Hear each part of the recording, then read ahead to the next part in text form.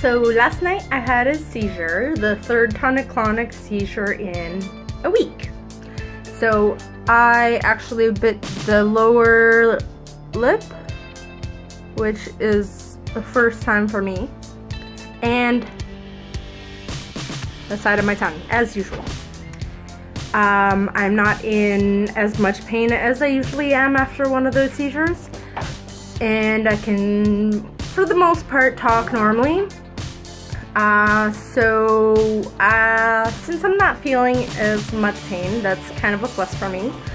Um, so, looking on the positive side, it's improving, I guess. Um, or at least this is one of the times that it's not as violent, so lucky for me, at least this time. And, um, yeah, so I'm gonna eat uh, delicious two burritos that I made. Yes, yes, yes. And watch my two dogs play like total weirdos. And I'm going to enjoy not being in excruciating pain the day after a seizure as I usually am. Zena, come here. Zena, come here. Do you want a treat?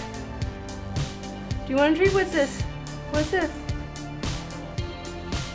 I don't know why, but this bitch is following me everywhere.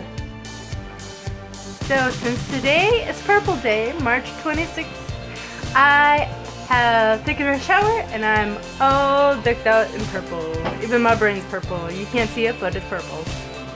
My bedding is purple. It's got a beautiful Pegasus on the pillows and all over the sheets and everywhere. It's awesome. Paint me like one of your French girls, Jack. Look out, Hannah Montana. It's about to get lit. Now, if you like that, please come back for more. Like, subscribe, and be sure to tell your friends. I swear it's not a chore. Love you guys. Mwah.